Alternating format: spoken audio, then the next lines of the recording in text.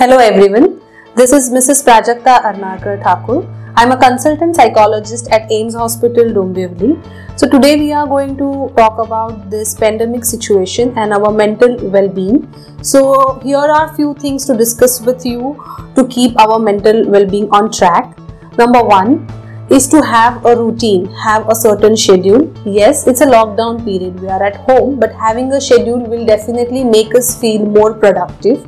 Number two, have some exercise routine or have some fun activities which will definitely help us to feel good about ourselves and it will definitely help to happy hormones to get released number 3 dress up because why not spending our day in pajamas is not going to help us. If we dress up, we are definitely going to feel good, feel motivated, and will feel productive.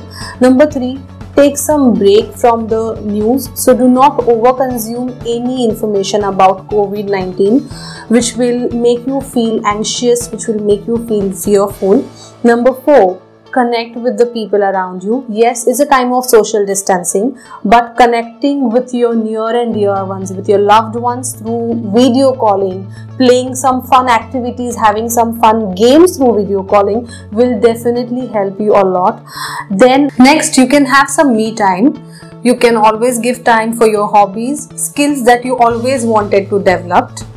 And I would like to conclude this with the thought that it's really important for us to monitor our thoughts as overthinking will lead to the anxious feelings, fearful feelings, whereas optimistic and positive thoughts will give us more strength to maintain our mental well being. So, I wish everyone to stay safe and stay at home.